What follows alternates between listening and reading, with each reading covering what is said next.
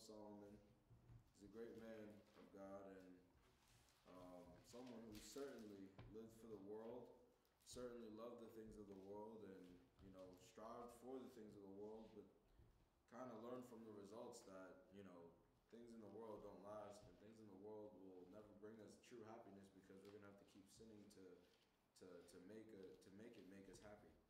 And Solomon certainly learned these things, and um, he learned the lessons, and he's sharing with us his wisdom of what the world has to offer versus what God has to offer.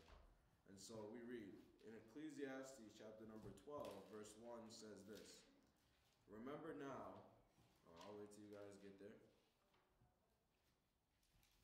Mhm.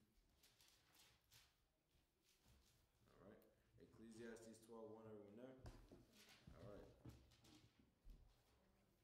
You get Jess? Uh, you want to help her out, Aisha? Y'all sung a song. I know. All right, Ecclesiastes 12:1. So it says this: Remember now thy Creator in the days of thy youth, while the evil days come not, nor the years draw nigh, when thou shalt say, I have no pleasure in them.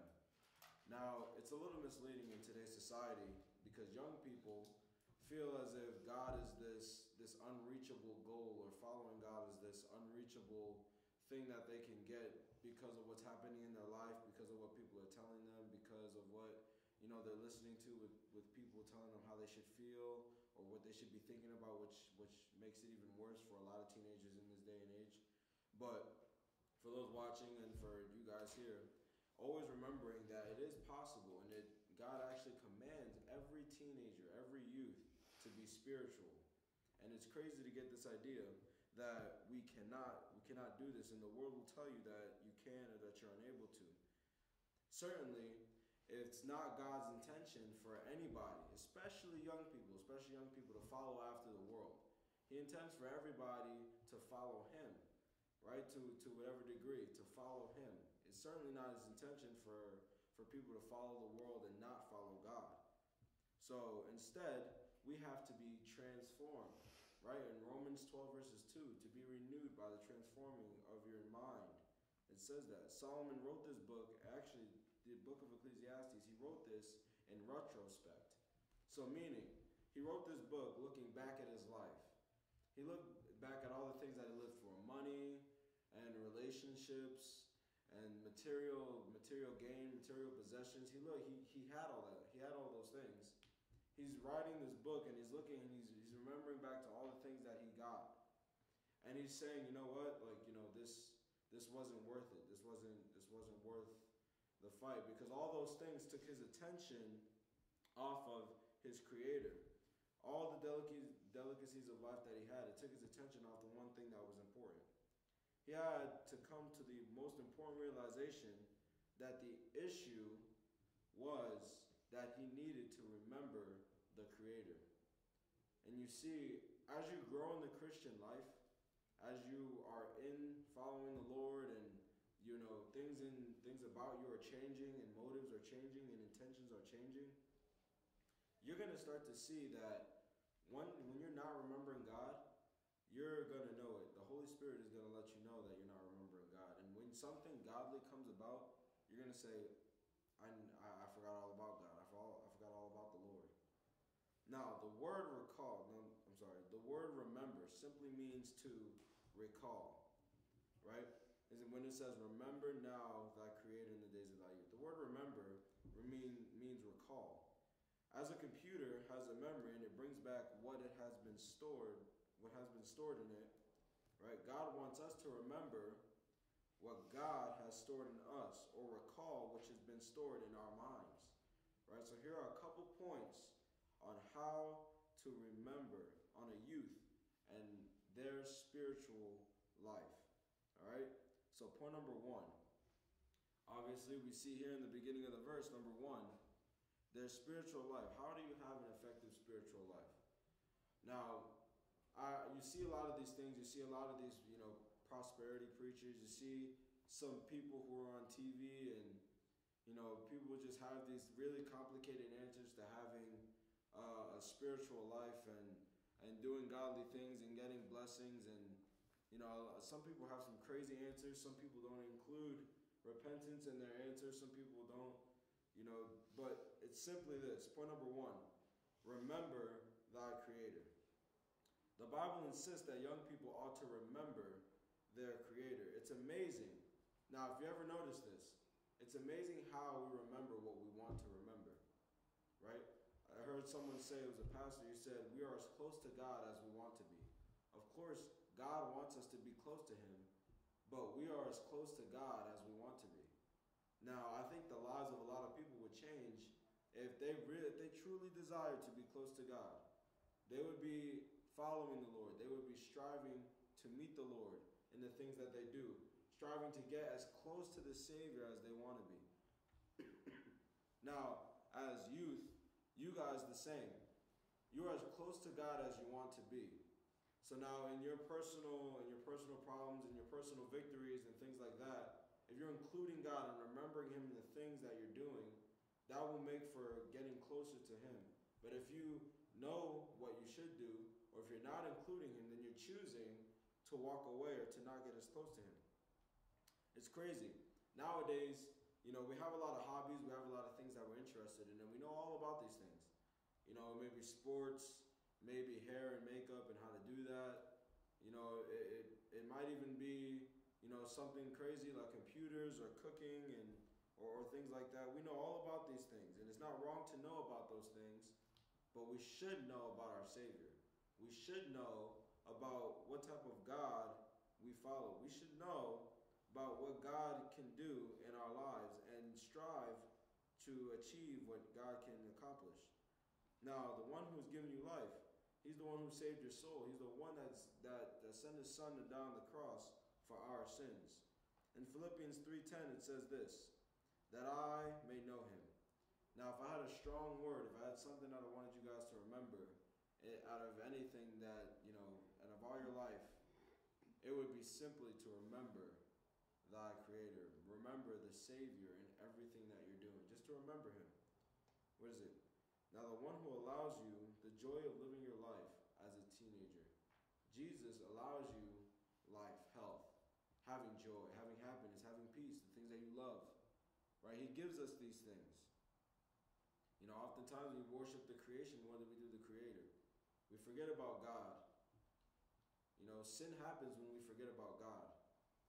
Idols come about when we forget about God. We walk away from the Savior because we forget about Him, what He's done for us in our lives.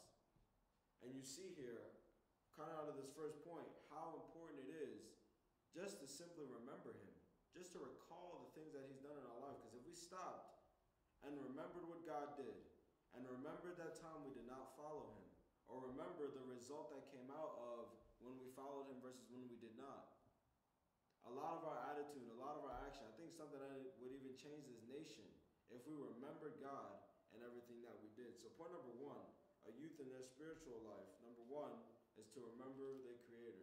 How to have a successful spiritual life? Simply remember Him. You know, you would stop doing a lot of the things that you were doing if you remembered God. You would change a lot of the things that you think if you remember God.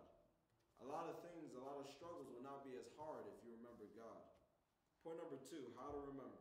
Now, can somebody, can somebody give me just a little, just a little question here? The best way to remember something. Does anybody have any, any, uh, yes, yes. Studying. Okay, yep. Yeah. Facts. It? Repetition is the key to learning. Okay. Anyone? The best way to remember something. Don't forget it. really? wow. yeah. Good job, John. All right. Those are all good answers, but it all has to start from somewhere, right? The best way to remember something is to think about it, right? Just to think about it. You got to think about something to remember something. You got to think about it to study it to remember. Because I can, you know, I can do I can do almost anything, but if I don't think about it, I'm not going to start. I'm not going to start anything that I do, right? I use to memorize verses. I put them on index cards and I look at them all the time. I put them in my pocket and carry them with me all the day long. I, I you know, I have hymns um, in my in my head all the time, thinking about the verses that I just um, that I just read and things like that, and I can remember it. Right? A songwriter said this: "I think of my blessed Redeemer. I think of him all the day long. I sing, for I cannot be silent. His love is the theme of my song." You know, I love that. You know, hymns are truly amazing. One thing I've learned as I as I've kind of grown into going into college and stuff like that is to pay attention to the songs that you know we're singing. Pay attention to the songs that we're listening to. You know, like we, you know, it's really easy for us to just put on some Christian music, some good godly Christian music, and you know what? It just be something that we don't even think about. You know, just something that we listen to. But have, if you ever just pay attention to the words, just paying attention to the words of each song that you sing makes a big difference. It gives us joy. Those words gives us joy from people who have lived through it. They give us joy. They give us comfort in knowing that, you know, we mess up, but our Lord is going to be there. And I, and I really love when it said, like, I think, you know, the song is being redeemed. I think of my blessed Redeemer. I think of him all the day long. I sing, for I cannot be silent. His love is the theme of my song. It's amazing you know, being redeemed by God, thinking of Him in, the, in everything that we do. Now, when teenagers, and it's great, especially with teenagers, with anybody really, but especially with teenagers and the things that they go through and just the time of the life that they're in, when they think about God, there is a sense of closeness, right? When they have a relationship with the Lord, there is a sense of closeness in their life, and they feel that presence because God is going to come when you call when you call for Him, when you're praying with Him when you're there with him, there's closeness in your life as well.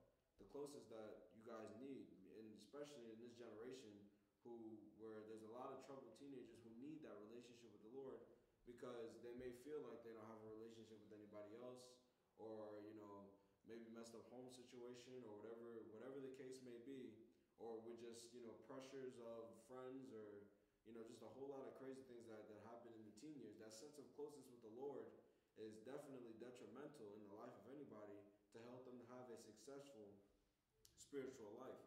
The time to remember God is not, you know, not five years down the road. The the time to remember, although you know, it's it's ama- it's good when you can remember God when you remember God. I'm not I'm not you know I'm not saying that it's not. I'm not saying, but God does say here, while you're young, and this is in the Bible for generations, while you are young, is the best time to remember God, right? So don't take the things that you're doing for granted now. Try the best in everything that you that you, that you're involved with, everything that you know. Give your best in everything that you're doing. The best time to remember God is now. It is right now. Don't waste your teenage years thinking on things that are temporal. Don't waste your teenage years thinking on things that are only going to live. Solomon, you know, as a grown man, lived for these things. He lived for, for money. He lived for possessions. He lived for houses. He lived for gardens. He lived for, for you know, whatever under the sun. He had cars. He had, you know, the modern day technology and all that. He lived for these things. And we hear it often, often again. He wrote, you know, Ecclesiastes and, and Proverbs talking about how to be wise what a foolish person does.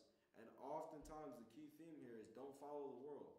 He lived, a man coming from the world, living from these things, getting nothing out of it, sharing the results in this book, saying it's not worth it. It's all vain. It's, it doesn't bring happiness. It does not bring peace. It does not bring joy. It doesn't bring anything. Right? So the best time to remember God is right now, in the days of your youth. Someone said this, and, uh, and I'm sure you guys know the hymn, Coming Home, right? It says this I've wasted many precious years now I'm coming home. Now, it's amazing when somebody, you know, even when you're older, you know, whatever age you are, whatever age you are, it's it's amazing when somebody can truly repent and come to God and get saved. It's amazing. Praise the Lord when you do it. But you do not want to spend your life wasting your years. This songwriter, I've wasted many precious years. Think about that. Wasting, wasting years. You know, not living for God, living for, for all the things of this world, living for what people think, living for everything else but remembering God.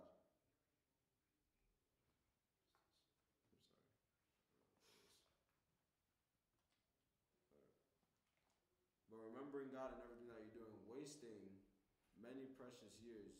You know, life is but a vapor. And more in the, during this time of the corona you know, I kind of realize, I'm kind of like, my biggest realization now is that life is short. You know, there are people, there are thousands of people dying, and you know, we're we're, we're stuck in our homes and, and things like that. Things are not as open, so people's movements are more restricted and things like that.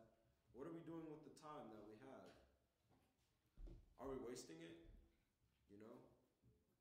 You know, I I think I um I think I, I said this in our last class. You know, the Lord directs our steps, but He also directs our stops as well, because there are times where we stop. There are times there are times where God puts us to a hold. There are times where God says, "Hey, just listen to me. Just just stop for a second and listen to me." Was it? I heard in the song. It's he says um, he says sometimes he calms the storm, but other times he calms his child. So when we think about God, when we're remembering Him, right there, we we often think about God stop this problem, God working this per this person is the problem, you know, God do something in this situation, but it's never, hey Lord, show me what I need to do, show me what I need to work on, show me what I need to change, show me where I need to, you know, show me where I need to stop and not speak, show me where I need to be harnessed. Show me where I need to change first. It's never like that now. When we remember God, when we remember Him in everything, if we if we really truly remember and then act on those things that we're remembering, it makes for years of your life that will not be wasted. I promise you. I promise you. Remember God right now in the days of your youth, while you're young. Serve God to the best of your ability. And listen, as and sometimes, you know, and everyone has good days, everyone has bad days. Some days it may seem repetitive, just but I guarantee you, living for the Lord is better than living in the. Because people get up, rinse and repeat all the time, same routine, and it's I've been there. It's it's it's nothing. You're not missing out on much in the world. It's it's it's the same. It's the same. You know, ridiculousness. It's the same. It's the same stuff all the time. But when you're living for the Lord, it, it is rewarding. It is joy. It is joy filled. It is peaceful, and it's amazing what the Lord will do in your life. He'll bless you. He'll give you joy where you're just jumping up and down and punching James and stuff like that. So it's a, it's amazing what what the Lord will do. Praising God. Um, those who realize when they did, but it is preferably that you do not wander. Don't wander away from the Lord. Remember Him today. Right? So, is there any areas in your life where you need to remember God? Are there any things that you is there anything that you can do that can help you remember God more in your life? Right? Are there places in your life where you're completely forgetting about Him? Hmm? Are there things in your life that you're not even including Him in? Listen, we can all learn a lesson from Solomon. You know, his spiritual life, and this, you know, this is titled The Youth in Their Spiritual Life. We have Solomon who didn't have a very good spiritual life living for the things of the world. He didn't have a very good spiritual life with the attitude of the world. He didn't have a very good life